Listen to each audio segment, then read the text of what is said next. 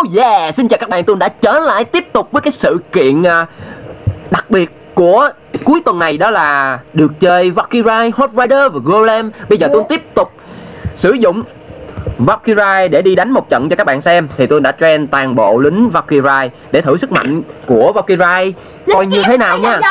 Yes, đó là lính chém xoay vòng vòng đúng không Tây ôn Đúng rồi. gì chổng là nó xoay vòng vòng rồi nó chóng mặt rồi nó xỉu luôn. Đúng rồi, đúng rồi. Thì mình chơi Hot Rider thì chỉ tập trung đánh vào vũ khí Còn Valkyrie thì đánh tất cả nên chơi Valkyrie tôi nghĩ là sự lựa chọn hợp lý hơn. Đúng rồi hắt hắt đi ra và cưỡi heo cho toàn là đập vũ khí không à? Đúng rồi nhưng mà Valkyrie được một cái là em ấy phải phá tường Chứ em ấy không nhảy xuyên tường được.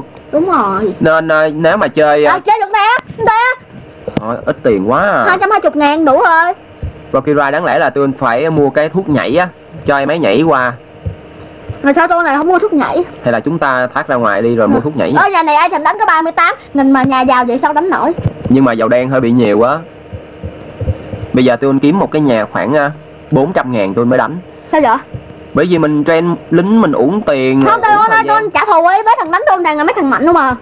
Thôi tôi đang ờ, thử lính Valkyrie cho các bạn xem Coi ờ, độ thông minh của Valkyrie như thế nào rồi nhanh nhẹn như thế nào để các bạn thấy Bởi ơi, vì á cái game này á người ta đã lập trình rồi. Mỗi cái loại lính nó có một cái tính cách đặc biệt. Nếu mà mình khám phá hiểu được cái tính cách của loại lính đó Thì bảo đảm mình chơi trận nào mình cũng thắng hết. Tôi ơi tôi ôn bây giờ tôi đi chơi báo thù đi. Thôi tôi không có thích báo thù Ben Trời sao Ben gieo rắc vô đầu của tiên cá? Mấy cái ảnh hình ảnh bậy bạ.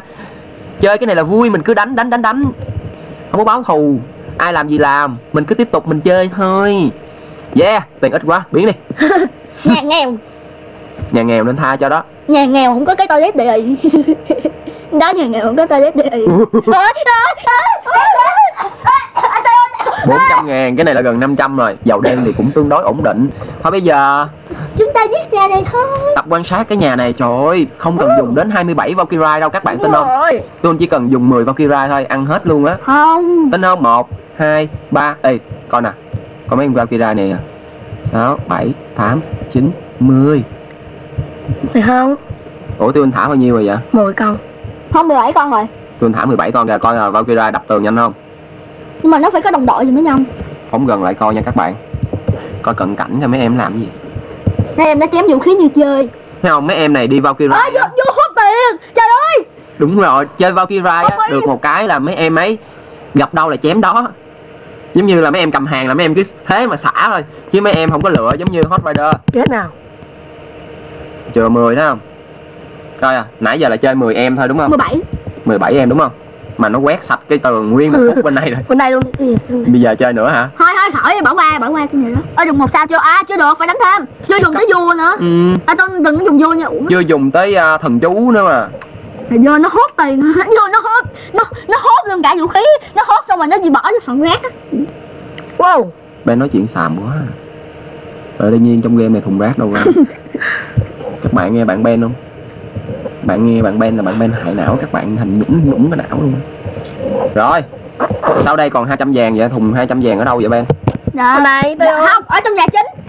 Cái này là tôi đánh chậm cho các bạn xem á Đánh không có chiến thuật á Bởi vì để lính bị chết. Chứ tôi mà dùng thần chú nữa Rồi cách rải quân nữa là sẽ hốt sạch cái nhà này luôn. Thì tôi muốn đánh như vậy để cho các bạn thấy là cái xác suất mà đánh dở nhất của Valkyrie.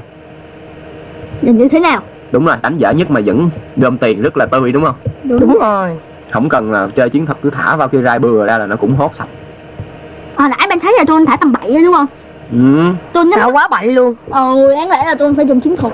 Đáng lẽ tôi sẽ thả từ bên đây thả qua là nó hốt hết luôn á. Đúng rồi. Tươi ha. Alo, tươi xanh. Quá tươi xanh. Tắt máy đi không lật mấy thằng đó. Nữa. Mấy fan cuồng hả? Rồi các bạn ơi, như vậy là sử dụng Valkyrie Tôi đã hốt được cái nhà này rất là tươi. Rồi, vậy là sự lựa chọn Valkyrie trong trận chiến. Rất tốt. Đúng không? tốt. Valkyrie nên sử dụng trong trận chiến. Rồi, tiếp tục nha. Tiếp tục đi tới ôn tiếp tục đi